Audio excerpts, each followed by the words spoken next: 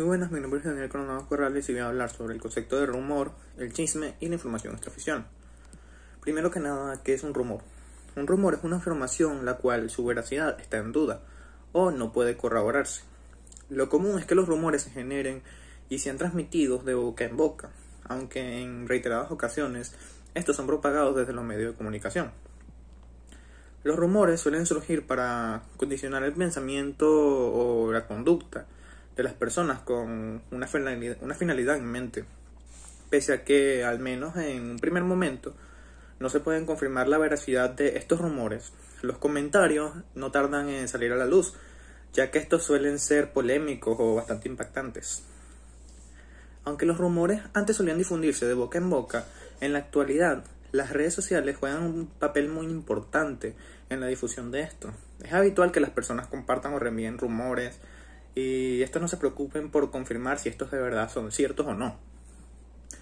Por su parte, un chisme, si bien es parecido a un rumor, su diferencia radica en que este es uno informal y que se divulga de manera oral. Y este mismo hace alusión a hechos negativos sobre una persona, un grupo de personas y demás, siendo capaz de afectar su honradez.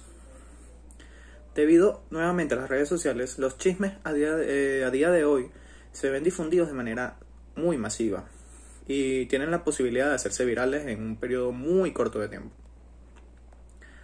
En un chisme el origen se esconde por más que salga de una persona en concreto y este cuando se transmite se le van añadiendo elementos para hacerlo más rico y más atractivo. Él o los individuos de los que se habla en un chisme no lo conocen hasta que este está bien diseminado, hasta que la gente ya lo conoce bastante bien.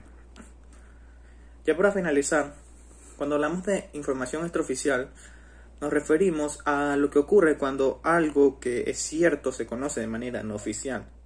Solo que sabiendo que de esta manera es una, es una forma de información que siempre conduce a cierta especulación. En este caso, se trata de datos que se conocen de manera no oficial. Se diferencia una información oficial en cuanto a que éstas han sido proporcionadas y verificadas por un agente que dispone de credibilidad en el ámbito que se esté tratando en ese momento. Eso sería todo, muchísimas gracias.